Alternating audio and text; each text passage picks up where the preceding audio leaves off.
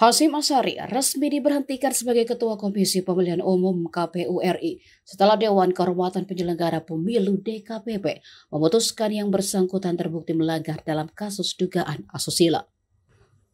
Anggota DKPP Ratna Dewi Petalolo membacakan pelanggaran-pelanggaran yang dilakukan Hasim di ruang sidang DKPP Jakarta pada Rabu 3 Juli 2024. Sanksi pemberhentian dijatuhkan buntut tindakan asusila Hasim terhadap seorang perempuan anggota panitia pemilihan luar negeri Den Haag Belanda yang berinisial CAT. Pelanggaran itu mulai dari ajakan jalan berdua, pertemuan mereka di kamar hotel hingga guyonan soal celana dalam. 4.3.2.2 bahwa pengadu mendalilkan teradu tidak menjaga asas profesionalitas dan melanggar prinsip proporsional dan profesional sebagaimana dalil pada angka 4.1.2 berkenaan dengan dalil aduan pengadu bahwa teradu mengirimkan informasi yang bersifat rahasia, terungkap fakta dalam sidang pemeriksaan pada saat komunikasi intens antara teradu dan pengadu pada tanggal 6 Agustus 2023, teradu mengirimkan pesan terusan forward sesuai bukti P6.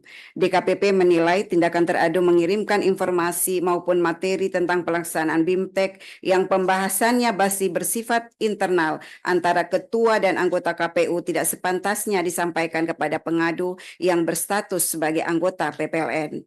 Apalagi disertai adanya pesan WhatsApp, keep secret for your eyes, only for your for your eyes only dan not for share, menunjukkan bahwa informasi maupun materi yang dibagikan oleh teradu kepada pengadu bersifat penting dan rahasia. Terungkap pula fakta dalam sidang pemeriksaan dalam komunikasi intens tersebut, teradu mengajak pengadu jalan berdua di sela-sela acara BIMTEK di Den Haag bukti P7. Terjadi juga komunikasi intens antara teradu dan pengadu melalui WhatsApp pada tanggal 12 Agustus 2023, video bukti P13. Dalam komunikasi tersebut, pengadu meminta tolong kepada teradu agar pada saat kunjungan ke Belanda membawakan barang pengadu yang ketinggalan di Jakarta. Kemudian teradu menyanggupi permintaan pengadu dan mengirimkan daftar barang titipan pengadu berupa satu rompi PPLN, satu potong baju, satu potong CD, dan dua peks cuimi. Terhadap pesan tersebut, pengadu menanyakan apa yang dimaksud dengan CD, padahal barang tersebut tidak termasuk barang yang dititipkan oleh pengadu. Teradu menjawab dengan nada bercanda, oh maaf keselip. Bukti P13. Terhadap fakta tersebut, DKPP menilai tindakan teradu tidak dibenarkan menurut etika penyelenggara pemilu. Teradu terbukti menyisipkan kepentingan pribadi dalam melaksanakan tugasnya. Permintaan teradu untuk jalan berdua dengan pengadu tidak patut dilakukan, mengingat status teradu yang sudah berkeluarga. Selain itu, isi chat teradu yang menuliskan CD yang diakui dalam sidang pemeriksaan adalah celana dalam, menurut DKPP tidak patut dibicarakan, mengingat status teradu sebagai atasan dari pengadu dan teradu sudah berkeluarga. Apalagi dalam pesan pengadu kepada teradu tidak ada titipan berupa CD untuk dibawa ke Belanda.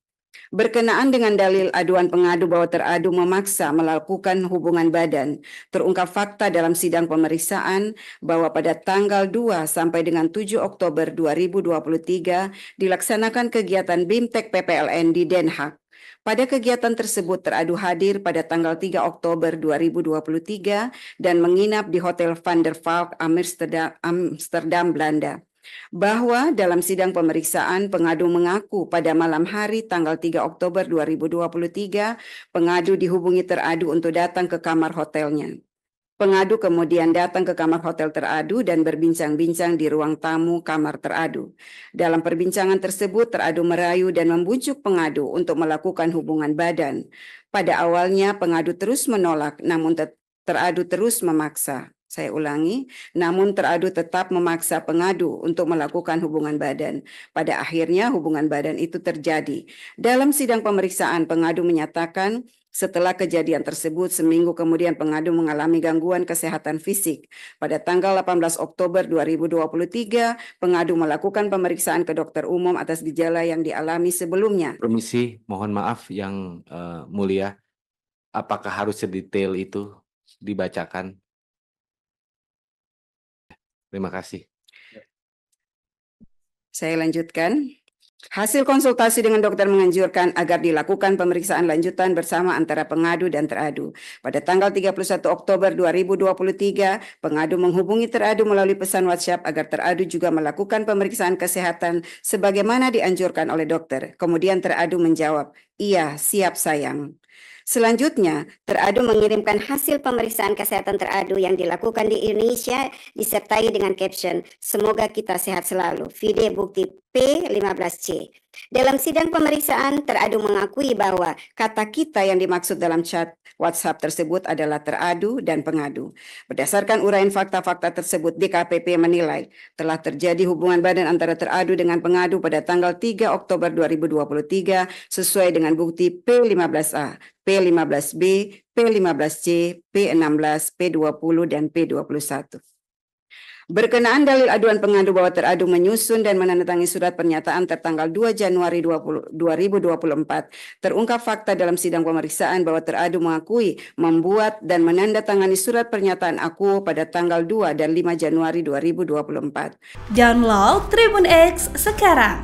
Menghadirkan lokal menjadi Indonesia.